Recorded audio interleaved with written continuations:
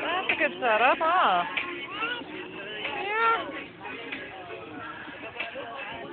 Look at all that.